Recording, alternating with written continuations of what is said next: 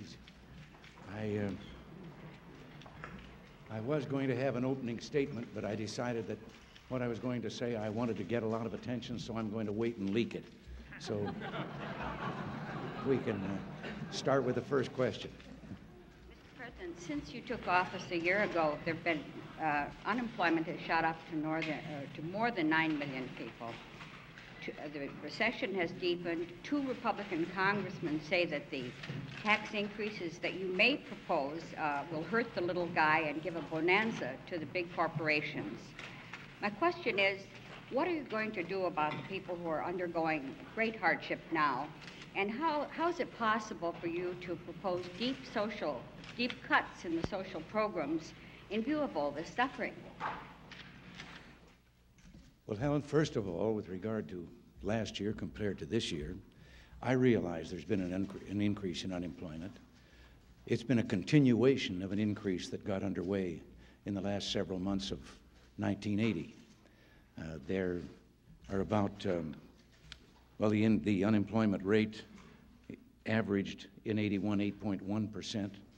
It averaged 7.4% in all of 1980. But that is a kind of an unfair comparison because it was increasing very much more in the last six months of 1980. I have the greatest sympathy, I think anyone does, uh, for those people who are unemployed. On the other hand, comparing this to the uh, beginning of, of our term, there are a million people more working than there were in 1980, and there will be more people actually working uh, not counting the unemployed that might go back to work in 1982, uh, just in connection with our growth. But that still isn't an answer for the unemployed. But the people today have a lower interest rate than they had when we started. Uh, the inflation rate is sizably lower than it was uh, when we took office.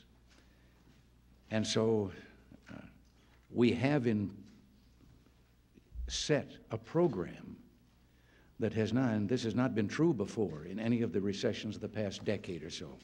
We have in place a program now that is just getting underway that is designed to reduce the unemployment and to resolve these problems that are, are so bothersome today. Uh, the first part of our tax uh, program went into effect. That's another additional thing that people have a lower rate of taxes than they did have. Uh, part of that has been eliminated by the automatic increase passed by the previous administration in the uh, Social Security payroll tax. But there will be another tax uh, cut in July, and in this month, we have had for the first time the elimination of the marriage penalty in taxes. But as these tax uh, rates and these reductions in tax rates begin to take effect, then I'm quite sure we're going to see an upswing in the economy, and that is the answer to their problem. Now, as to the cuts in social reforms, most of what we have done in that regard has not been a cut, there has not been a, a cut in the overall spending on human resources. Actually, there is an increase over the year before, and there will be an increase in 83 over 82 and on down the line we have reduced the rate of increase in those programs, but much of the cut is aimed at trying to eliminate from the rolls those people who uh, I think are unfairly uh, benefiting from those programs. Uh, nothing has happened to change the situation of the person who is totally dependent on the government for help, nor are we going to change those things. President, can you answer the Lott and Kemp charge about the hurting the little guy? Well, I don't think we're going to, that we are doing that. And uh, uh, I'm going to have to have a little talk with them. I think that they are uh, basing some of their uh, their charge on speculation on things that have been talked about widely so far in the media, uh, and they have not heard from us uh, what it is we're talking about or what we're planning. Mr. President, it's been uh, three weeks now since you announced the sanctions against the Soviet Union in connection with Poland. What effect, if any, have they had? If they haven't had any effect, what next and when? Well, I think they have had an effect, although there's no question the situation in Poland is deteriorating. They have tried to present it as moderating. It isn't. Uh, the people are still imprisoned. The, uh, there is no communication with solidarity or with the, between the military government and the people, and uh, the military law is still in effect. Uh, we think, however, uh, that there has been an impression made, and we have held back on some things additionally that we can do, things that we will consider that can add to the steps that we've already taken. Uh, I have had a lengthy communication from the Pope. Uh, he approves what we have done so far. He believes that it has been beneficial, and yet we're not going to wait forever uh, for improvement in the situation there. We have other steps that we can take. Yeah, Bruce? Mr. President, now that Secretary Haig is the committee, do you know of any new concrete ground for optimism about reaching an agreement on the Palestinian autonomy issue? And do you regard as crucial uh, reaching some sort of agreement before April when the Israelis are scheduled to uh, complete withdrawal from Sinai? Well, there's no question about that being the toughest problem in the Middle East settlement. Uh, we won't set a deadline of any kind on when that must be decided. Uh, the Secretary has been on fact-finding trip and will be there again, although no date has been set for that. Um, we, we want to help if we can, if we can come up with some ideas that might be helpful in the autonomy talks. That is the, uh, the next step under the Camp David process. And so, as I say, we won't set a deadline, but we're most hopeful that we can be of help and that they will, at least uh, by the Sinai time, get down to, let's say, um, a kind of a plan for proceeding. Sam? Mr. President, on January 8th, the Justice Department announced a decision concerning tax-exempt status for certain schools that clearly gave aid and comfort to racial discrimination. Then, in subsequent days, you began a series of steps to sort of go back from that. My question is, what happened? Are you responsible for the original decision, or did your staff put something over on you? Sam, no one put anything over on me. No, Sam, the buck stops at my desk. I'm the originator of the whole thing, and I'm not going to deny that it wasn't handled as well as it could be, but I think that what we actually saw was confusion, and uh, it was rather widespread and encouraged uh, about what we had not anticipated the reaction because we were dealing with a procedural matter, and it was interpreted by many of you as a policy matter, reflecting a change in policy. And then, therefore, when we went forward, you said, well, then this was another change back in policy. What we were trying to correct was a procedure that we thought had no basis in law, that the Internal Revenue Service had actually formed social law and was enforcing that social law. And we think that that's a bad precedent and it's a bad thing to do. And so we there was no basis in law for what they were doing. So what we set out to do was to stop to change that procedure and stop the Internal Revenue Service from doing this and then to have Congress implement with law the proper procedure. I am opposed to every fiber of my being of discrimination and to have set in law the uh, fact that tax uh, exemptions could be denied to schools that and educational institutions that practiced discrimination.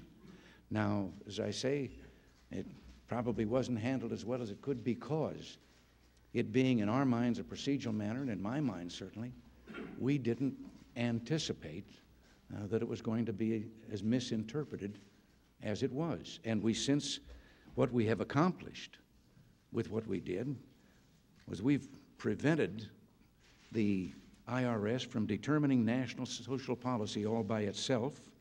It'll now be by elected officials, the Congress. We'll continue to prohibit tax exemptions for schools that discriminate, and for the first time, that will be the law of the land. And we help to reserve the rights and liberties of religious schools as long as they don't discriminate. January 8th decision, you didn't ask for legislation.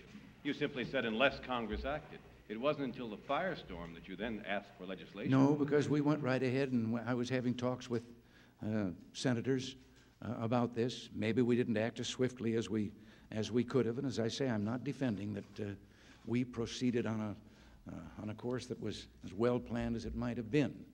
And just um, so we were mistaken in that regard, but don't judge us by our mistakes. I'm probably going to make more of them, but judge us uh, uh, how well we recover and solve the situation. Know? Mr. President, a few days ago, uh, Mr. Clark, uh, your new national security advisor, issued a series of guidelines for contact with the press by officials of your administration where classified information is to be discussed. Two questions, sir. First of all, is, will it be your policy to advocate the use of all legal means, including lie detectors, to determine who is leaking classified information, if classified information is leaked? And second, do you think it will be possible for administration officials to conduct the normal discourse uh, of briefings with reporters when nearly everything pertaining to foreign affairs is classified to some degree or other? What we're doing is simply abiding by the existing law. It is against the law to, uh, for those who are not authorized to declassify, to release uh, classified information. And I know that I've been told repeatedly that what is happening is nothing new that has been done under administrations. But I do think that it reached a new high here of um, the leaks that were destructive to the foreign policy we were trying to conduct, uh, that endangered delicate negotiations that were going on. And all we're doing is implementing the law. It is against the law for anyone to release this information. We need to protect uh, national security and our ability to conduct foreign policy. And as to any specifics, uh, Bill Clark is drawing up uh, some specifics of that kind, but they will all be within the law, and they'll have to be judged. What particular things are done will be judged on the individual case. It will not interfere with our determination to have an open administration, present uh, information that properly belongs to the press, but we must stop that leak, which, as I say several times, has, has really endangered things that we were trying to accomplish. And uh, we're not doing anything that, as I say, is not in, in the law today, and we will certainly protect the constitutional rights of our citizens. Sir, if I may follow up, would you advocate the use of lie detectors as a Pentagon official has in another similar case? And would you care to give us any of the specifics where the release of that information gave you difficulty with national policy? Well, the trouble is, if I try to give you specifics on that, then I'm leaking. And uh, no, uh, because it, I think that any one of you could see the situation in which you are dealing on a very sensitive matter with someone, and suddenly those people you're dealing with read something in the paper that enrages them, and uh, you're put in the position of trying to say, uh, It isn't so. Please believe us. And uh, this has happened on a number of occasions. Jerry? President, no, uh, no, uh, Jerry, and then I'll get you. Oh, Mr. President, to follow up on Sam's question, the tax exempt issue is just one of a series that some blacks are saying, series of incidents that some blacks say point to the fact that you are ignoring the interest concerns of blacks. How do you respond to that? I respond to it with the simple answer that it isn't true. And I know that there are some leaders in various organizations and so forth who have said things of this kind. But I am for affirmative action. I am against quotas. I have lived long enough to know a time in this country when quotas were used to discriminate, not end discrimination. Uh, I have already explained myself with regard to the uh, discrimination in, in education. And I think that my record uh, will stand for itself if anyone wants to look at it, that I have been on the side of opposition to bigotry and discrimination and prejudice, and long before it ever became a kind of national issue under the title of civil rights. And my, my life has been spent uh, on that side. Mr. President, uh, black unemployment, for example, was 12.4% Yeah. when you took office. It's now 17%. What do you tell blacks in terms of what you plan to do to deal with the problem? Well, one of the things that's needed, I think, was illustrated in the local paper on Sunday. I made it a point to count the pages of help wanted ads in this time of great unemployment. There were 24 full pages of classified ads of employers looking for employees. What we need is to make more people qualified to go and apply for those jobs. And we're going to do everything we can in that regard. We hear reports that Admiral Rickover vented his tubes of a bit of radioactive steam the other day uh, when he met with you in the White House. Can you tell us, sir, whether he has rejected your offer for him to be the White House uh, nuclear power advisor, and whether he's rejected the Navy's offer for him to stay on beyond January 31st in the transition period for his successor? Well, I don't know about the latter. Uh, he's not interested in being just a White House advisor, and I do know that the naval offer uh, was one in which they truly believed that he had uh, great service to still render, in that he would have an office, uh, the Secretary of Navy and staff, and that he would be there where he, he could uh, make a great contribution. Now, I don't know what his decision has been on that. I would hope uh, that he would accept that because he could be of service to his country. Although I know this if he doesn't want to serve, um, it would be difficult to impose on him because that's been a long lifetime of sterling service to this nation. What? He has turned down the White House job. Yes, he explained to me, and I could understand that, that that didn't sound very much like what he'd be interested in. Yes, ma'am. Uh, Mr. President, as you know, this Congress has attached the most restrictive anti-abortion language to the Health and Human Services money bill. It would uh, ban all abortions for low-income women except if the mother's life would be endangered by completing the pregnancy, and it would make no exceptions for race, uh, for rape or incest. My question to you is, um, and I would like to have a follow-up, if one of your daughters were unfortunate enough to be raped and become pregnant as a result, would you agree with this law that she should be forced to carry that pregnancy to term? I have been one who believes that abortion is the taking of a human life. And I know the difficulty of the question that you ask. I also do know that, because I won't answer it in that personal term, because, but I do know that uh, I once approved the law in California that allowed that as a justification in the line of self defense. Uh, just as a mother has a right, in my view, to protect her own life at the expense of the life of the unborn child. I am very concerned because I have found out since that that was used as a gigantic loophole in the law. And it was just, it literally led to abortion on demand uh, on the plea of, of rape. Now, I wish I could have a, a solid answer for you. On that basis, I would be hesitant to, um, to approve abortion on that, uh, on that basis. So, I ask you something on a related point, sir? Uh, there is pending in the Senate a constitutional amendment sponsored by Senator Hatch that would permit Congress and any state to ban abortions for all women, rich or poor. Uh, when Senator Hatch opened his hearings on that, he said that his religion prompted him to uh, support that amendment. And at the same time, as you know, there are many other religious faiths who consider it an invasion of privacy. Also, uh, in view of that divisiveness and in view of the fact that the public opinion polls show that most Americans favor freedom of choice on abortion, Have you given this any second thought or rethought your position at all?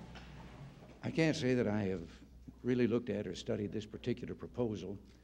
Uh, I can just say to you that following up on the hearings that were held in the Hill as to when life begins, I think that everyone has overlooked the real finding the fact that they could not resolve the issue of when life begins was a finding in and of itself.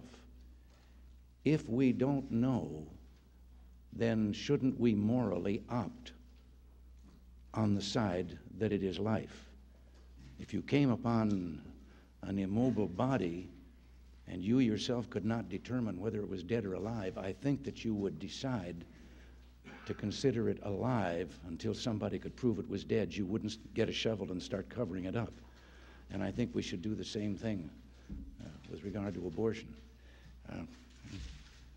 President, why was it necessary to dismiss Richard Allen and restructure the foreign policy operation at the White House when the Justice Department cleared Mr. Allen? And two press conferences ago, you told us that the foreign policy apparat- apparatus here was operating just fine. The changes that have been made with regard to the operation method were already under consideration. We did not dismiss Richard Allen, and I think he himself knew that it would be difficult for him after all that had happened, but he's still a part of the administration. Uh, he continues right now helping us. We're restoring uh, PIFIAB. I use the, the Washington custom of putting the initials together in a name because it's difficult for me to always remember that that means the uh, Presidential Foreign Intelligence Advisory Board, which I think was a very valuable, I got it right, a very valuable uh, thing that was discontinued a few years ago. We're restoring that. We have appointed the board and have a chairman, and he is serving as a consultant at this point, which does not mean that uh, that's uh, all that he's going to do. But um, uh, he is a part of the administration, and I know that he was cleared and regret the whole thing that took place. Judy? Mr. President, how concerned are you that any move you make to turn over control to the states of uh, such things as welfare and education uh, may result in some inequality for the people who live in those states? I don't really believe it will, because I was a governor of one. I know how well states can operate. There might have been a time in our history when uh, there were things that in states that, uh, that varied to a great extent, but then people moved from those states if they were unhappy with the way government was working. That's one of the great secrets of our freedom, is that we're a federation of sovereign states. The, I am convinced that, uh, well, for one thing that was lacking in those early days was a lack on the part of the federal government. It is where constitutional rights are concerned. I believe in many of the things the federal government has usurped in the last half century and is now doing, that they could be better run at the state level. But I also believe that the federal government has an obligation to enforce the constitutional rights of even the least individual among us, wherever he may be, if those rights are being denied, and to do so at the point of bayonet if necessary.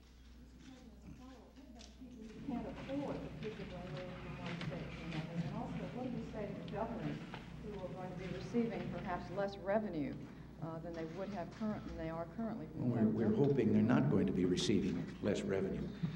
What has happened, and from my own experience of having to deal with programs that were mandated by the federal government and with, uh, with help from federal funds, most of those programs are not totally federally funded, they're a combination.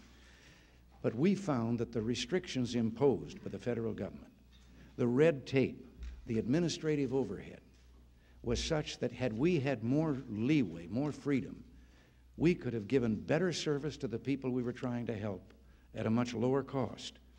It's like the one incident that I spoke of in New York the other day in my remarks of a county with an elderly citizens uh, warm food program. And they were spending 50 some thousand dollars.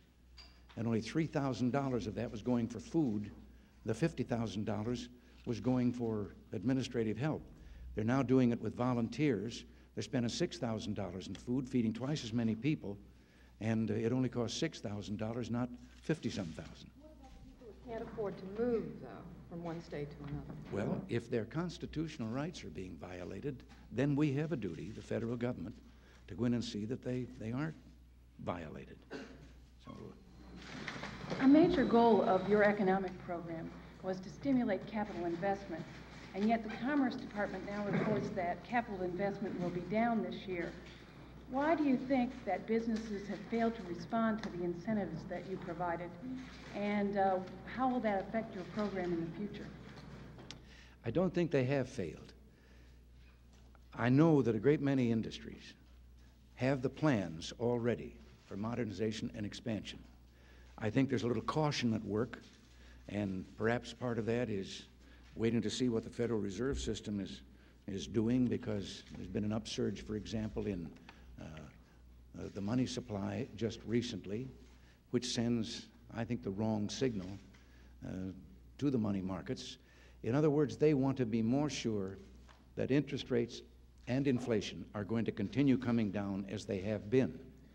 And I know that the entire steel industry has a multi-billion dollar expansion plan, and they have personally informed me that they uh, are ready to go forward with this plan. And I think we're just seeing a little caution. They want to make sure uh, before they proceed with them. But it's in, in a number of other industries that the, the plans are there, uh, ready to go and be implemented. Follow up. If you are concerned about the Fed's handling of the money supply, would you agree with those people on Capitol Hill who have called for Mr. Volcker's resignation? Well, I can't respond to that because the Federal Reserve System is autonomous, and uh, uh, the uh, the employees are, are, or the members of that commission are term term appointees. They're not serving at anyone's pleasure, and uh, I just uh, there's no way that I can I can comment on that.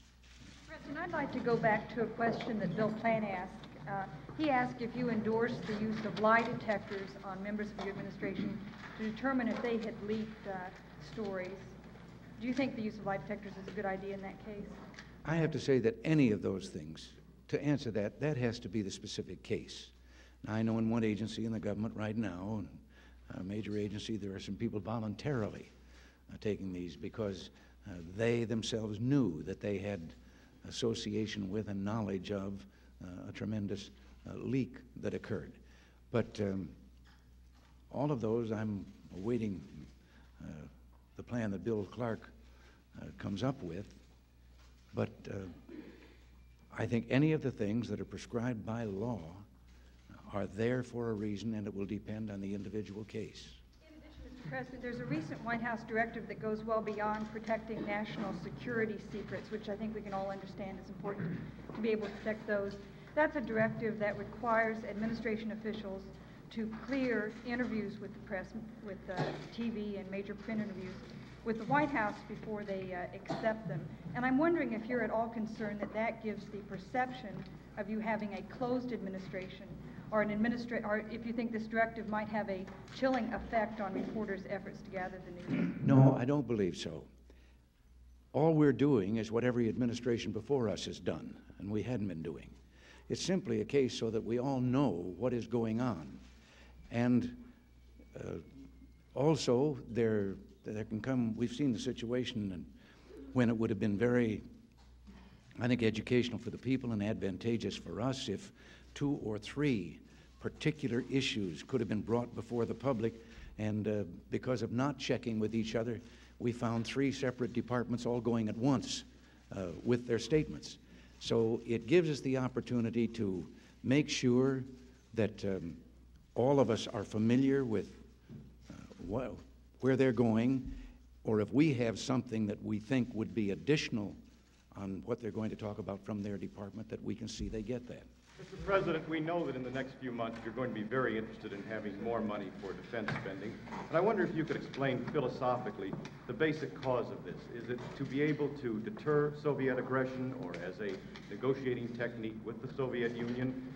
And is there a concern that weapons produced may eventually be weapons used?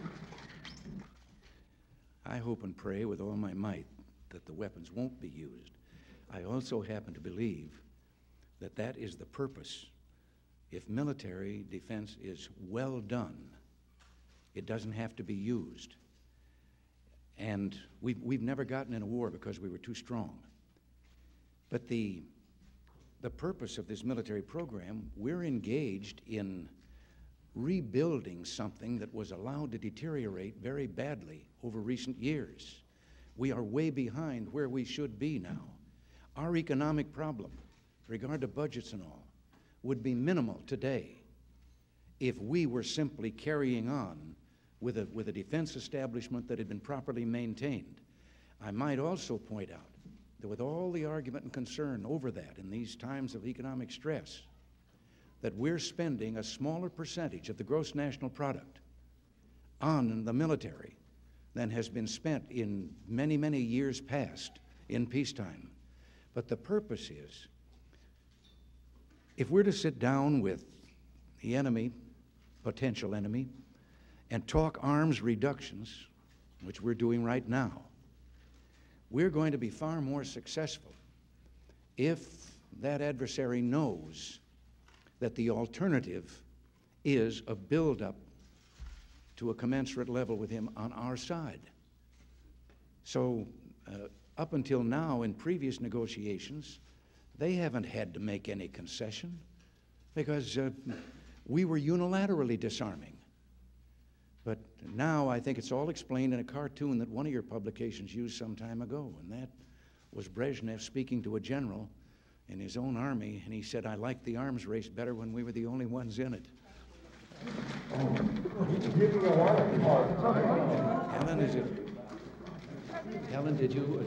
Uh, I think I think I think Mary got up before you did, Helen. So I'll take her question. All right. Mr. President,